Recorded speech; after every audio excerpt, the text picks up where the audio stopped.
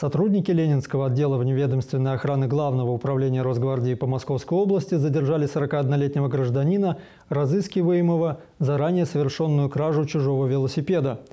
Инспекторы роты полиции Ленинского отдела вневедомственной охраны, находясь на посту несения службы в музее-заповеднике Горки Ленинские, на мониторе камер видеонаблюдения обратил внимание на мужчину, схожего по приметам из ранее полученной разыскной ориентировки – Гражданин несколькими днями ранее совершил кражу велосипеда, принадлежащего сотруднику музея, и скрылся в неизвестном направлении. Стражи порядка задержали злоумышленника и доставили его в отдел полиции для дальнейшего разбирательства. Им оказался уроженец Республики Молдова. По данному факту производится проверка.